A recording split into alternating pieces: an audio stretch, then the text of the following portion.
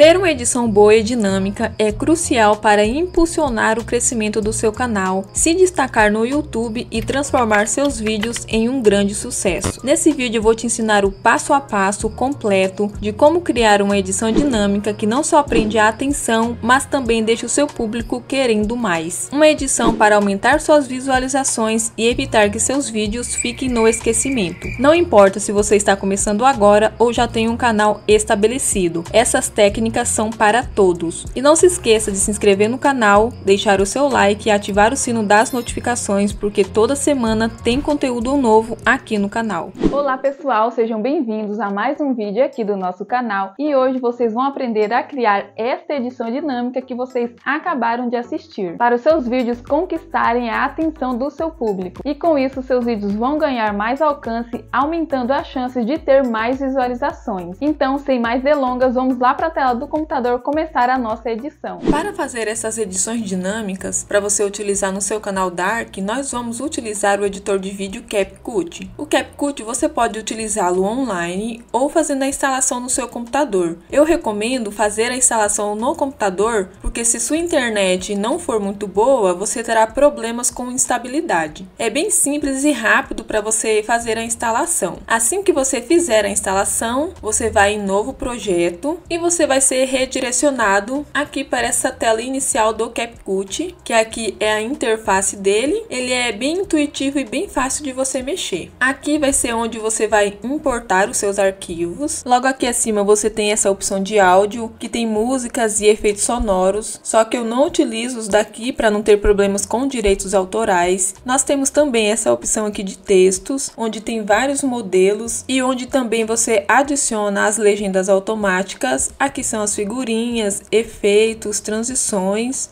filtros para ajudar ainda mais nas suas edições e deixá-las mais dinâmicas. Então vamos lá, você precisa primeiramente de todos os arquivos que você vai usar na sua edição, áudio, vídeos, plano de fundo, efeitos sonoros e GIF, se caso você for usar. Os vídeos vocês podem usar o site da Pexels, Pixabay, tem também o site da Vectese para você estar baixando e utilizando. Eu pesquisei nesses sites e baixei os vídeos vídeos de acordo com o meu roteiro. Eu vou usar também alguns efeitos sonoros, que são esses daqui, e também vou usar alguns efeitos de overlay, que vai ser esses daqui. Como por exemplo, tem esse aqui de grunge, que ele ficará dessa forma. Tem essa outra textura também que eu vou deixar na descrição do vídeo ou nos comentários fixados para vocês baixarem caso vocês queiram utilizar alguns desses efeitos. Então eu vou aqui em importar e vou trazer para cá todos os arquivos que eu vou utilizar no meu vídeo, que eu já deixei em uma pasta separada, que será esses arquivos aqui. Para começar a edição, você primeiro precisa arrastar o áudio da narração do seu vídeo aqui para a timeline. Então nós vamos arrastar o áudio da narração. Aqui do lado direito eu vou dar um pequeno zoom. O próximo passo é você colocar os vídeos de acordo com o que você estiver falando no seu roteiro. Por exemplo, vamos ouvir aqui o que eu estou falando na narração.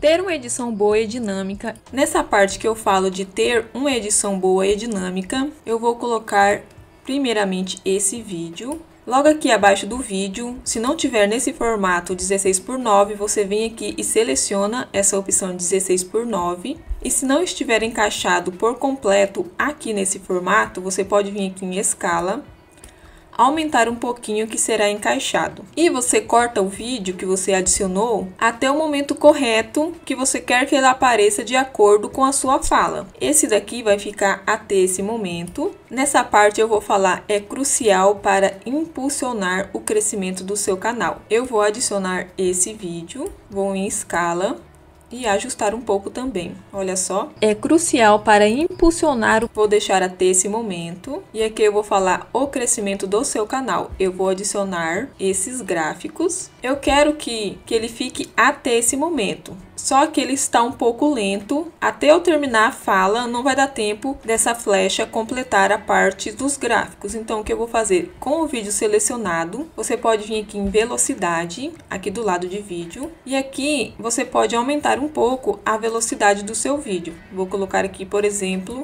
nesse terceiro, que ele ficou duas vezes. Ou você pode colocar mais rápido. A partir daqui eu vou falar se destacar no YouTube, então eu vou adicionar um outro vídeo com o nome de YouTube se destacar no YouTube e transformar seus vídeos em um grande sucesso. Vou deixar até a parte que fala YouTube. O próximo vídeo que eu vou adicionar é um GIF. Sempre que você for adicionar um vídeo menor que esse formato 16 por 9, é bom você colocar primeiramente algum plano de fundo. Eu baixei esse plano de fundo aqui todo preto, Vou colocar ele aqui, olha, ele fica com esse aspecto. E agora, como o meu GIF é menor que esse formato, eu posso adicionar ele acima desse plano de fundo, que vai ser esse daqui, do gatinho.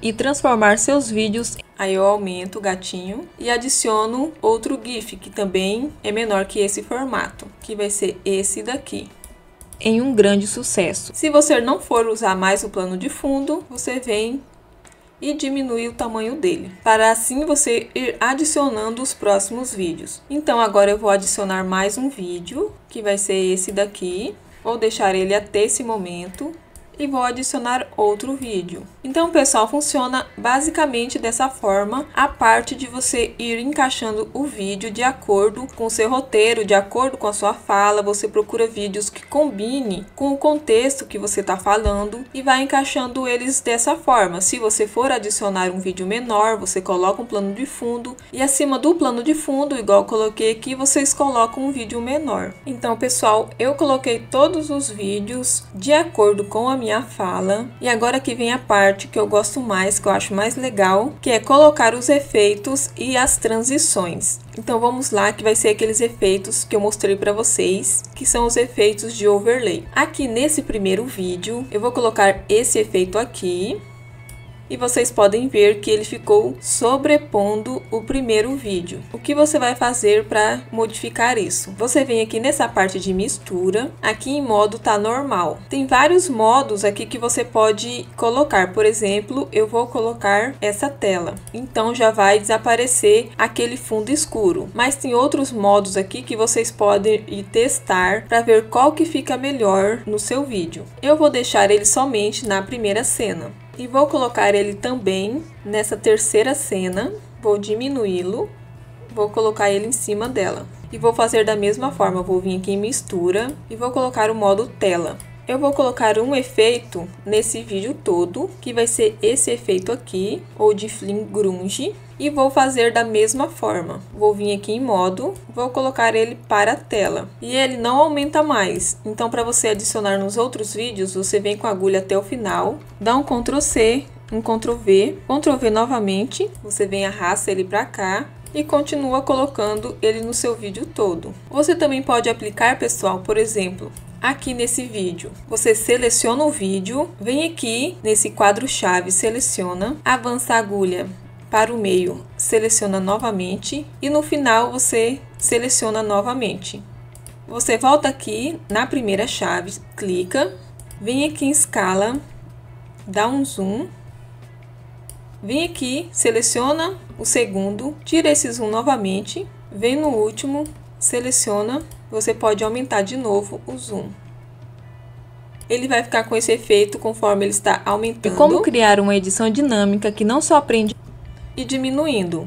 Então você pode aplicar esse efeito também nos seus vídeos aqui dentro do CapCut. Agora nós vamos adicionar algumas transições. Você pode vir aqui em transições Aqui tem várias transições que você pode adicionar. Você procura que melhor combinar com o estilo do seu vídeo. Eu vou vir aqui nessa categoria de luz. Vou pegar essa brilho 2.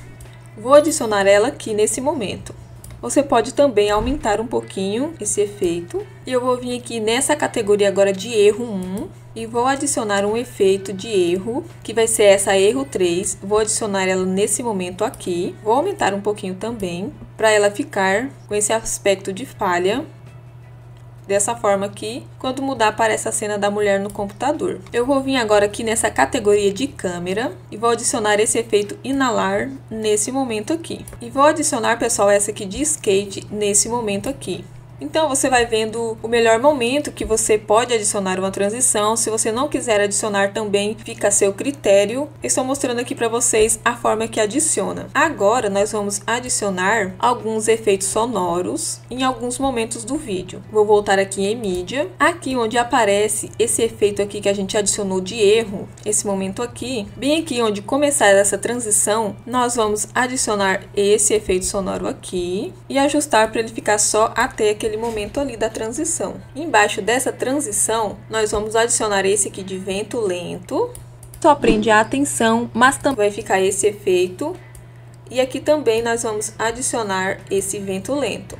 Edição para aumentar, que vai ficar esse efeito. Aqui, pessoal, onde tem esse gatinho digitando no computador, nós vamos colocar um efeito sonoro de teclado digitando, que é esse daqui. Vamos diminuir também, para que ele fique só nesse momento aqui e transformar seus vídeos em. Se você quiser, você pode aumentar um pouquinho o volume. E nessa parte aqui que fala assim que seus vídeos podem ficar no esquecimento caso você não tenha uma edição muito boa, a gente vai adicionar um efeito sonoro de grilo, que é esse daqui e ajustar ele somente para esse momento do vídeo. Então, pessoal, vocês podem ir adicionando efeitos sonoros para deixar os seus vídeos com uma edição mais dinâmica. Agora, pessoal, aqui no começo do vídeo, o que nós vamos fazer, eu quero que fique uma legenda só no início do vídeo. E para isso, nós vamos puxar a legenda do vídeo todo. Vamos vir aqui em texto, legendas automáticas se não tiver aqui no Português Brasil, você seleciona o Português Brasil e clica para criar.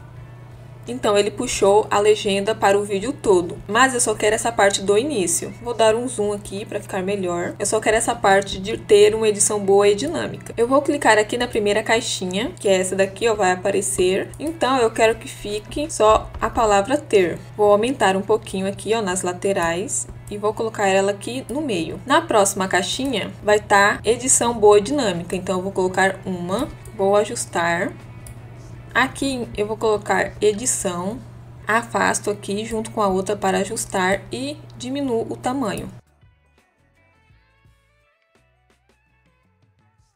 As outras legendas você pode selecionar e excluí-las. E agora nós vamos começar a ajustar essas aqui. Então você ajusta conforme você estiver falando. Eu quero que apareça palavra por palavra. Então você vai ajustando para que ela fique somente nessa primeira cena e encaixando conforme você for falando cada palavra. Para ela ficar dessa forma, pessoal ter uma edição boa e dinâmica, agora você pode ajustá-la de outra cor, porque o branco não está destacando. Você pode vir aqui ó, em cor, vamos ver um amarelo. Ó, o amarelo ficou bom. E aqui em estilo, eu vou clicar nesse primeiro para ficar a borda preta, mas aí mudou para o branco, então eu vou colocar novamente a cor amarela. Se você achar que ficou pequeno o tamanho das letras, você pode selecionar tudo. Tá em 5 aqui, ó, você pode puxar aqui também para aumentar, posicionar no melhor lugar que você achar melhor para o seu vídeo. Tem uma parte aqui que eu vou adicionar somente um pequeno texto, que é essa parte aqui onde eu falo edição dinâmica. Já estamos aqui no texto, então vamos aqui em adicionar texto. Texto padrão,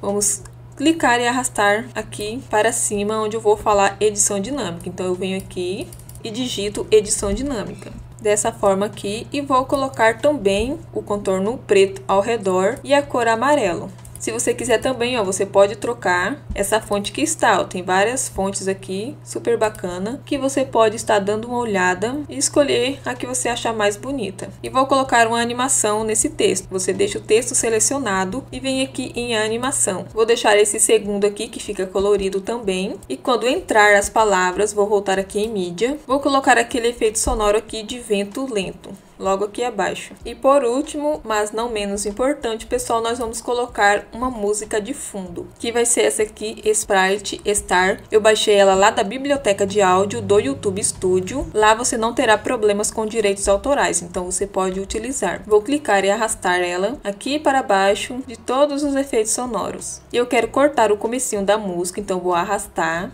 eu quero que ela comece aqui nesse momento. Eu arrasto ela novamente aqui para o início, venho aqui no final, vou aqui em dividir e vou excluir o restante da música. Agora eu vou selecionar a música e vou vir aqui em volume diminuir de uma forma que não atrapalhe a minha narração. Aqui no final da música, você pode vir aqui em Fade Out e diminuir um pouquinho o volume, porque conforme for acabando o vídeo, a música vai diminuindo o volume para não ficar aquele corte seco no final do vídeo. Aqui no final do vídeo, pessoal, no último vídeo aqui, bem aqui nesse comecinho vai ser onde eu tô pedindo a inscrição e o like. Então nós vamos adicionar um botão de inscrição e de like, que vai ser esse vídeo aqui a gente vai ter que cortar ele porque ele tem vários botões nele que você pode escolher. Vou ter arrastar ele aqui, vou cortar o começo do vídeo. Bem aqui, ó, que vai aparecer o botão, olha só. Então a gente deixa nesse momento. Bem aqui no finalzinho ele vai sumir. Então eu vou aqui em dividir, vou excluir o final. Vocês podem ver que ele ultrapassou o tempo do vídeo. Então você pode vir aqui também em velocidade e ir mexendo aqui para ele ficar completando o vídeo todo. Agora também vocês podem ver que ele ficou com o fundo verde. Para você remover esse fundo verde aqui no CapCut, você vem aqui em vídeo, vem aqui em recorte e tem aqui essa opção de chroma aqui. Então você seleciona,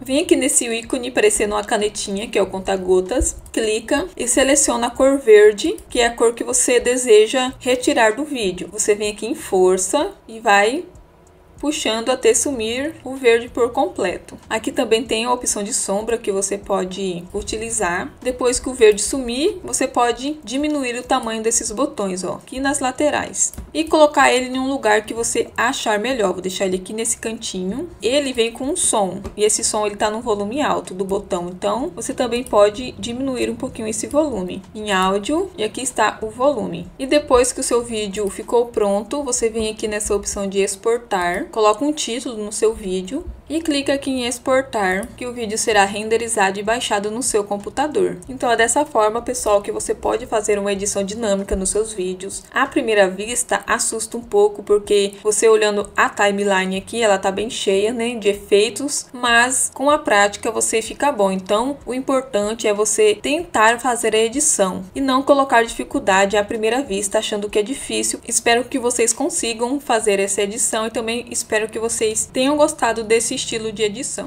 Pessoal, muito obrigado por ter me assistido até aqui. Não se esqueça de deixar o seu like e seu comentário e também compartilhar esse vídeo com alguém que queira viver do YouTube e ganhar dinheiro aqui na internet.